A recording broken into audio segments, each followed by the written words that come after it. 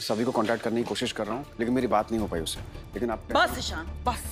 आज उस लड़की का रिसेप्शन है। आज उसे घर में ही रहना चाहिए था। सॉरी मुझे आने में देरी होगी लेकिन मैं मैं सात बजे के पहले आ गई ना।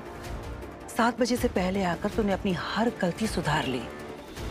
लेकिन मेरी एक बात सुन ले ईशान कि अब मैं इस फ़ंक्शन का हिस्सा नहीं बनूँगी। मैं ये रिसेप्शन में नहीं आऊँगी।